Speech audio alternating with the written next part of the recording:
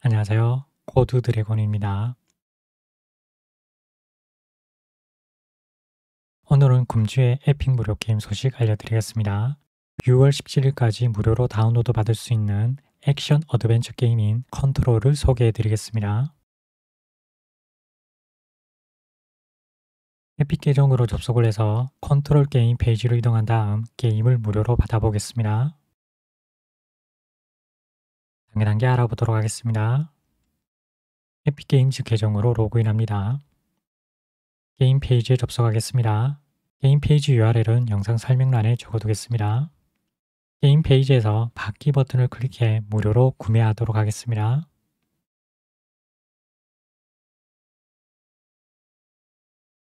결제 페이지로 이동이 되면 우측 하단에 주문하기 버튼인 Place Order 버튼을 클릭합니다.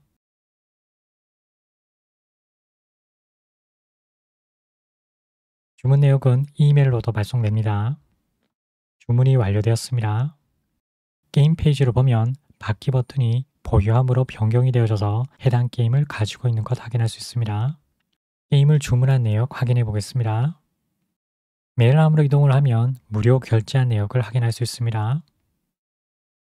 에픽게임즈 페이지에서 우측 상단에 계정명을 클릭하겠습니다. 나오는 메뉴에서 계정 메뉴를 클릭합니다. 왼쪽에 거래 메뉴를 클릭하면 구매한 게임 목록을 확인할 수 있습니다. 오늘은 금주의 에픽 무료 게임 소식 알려드렸습니다. 즐겁게 게임하시고 힐링하시기 바랍니다. 오늘은 여기까지 하도록 하겠습니다.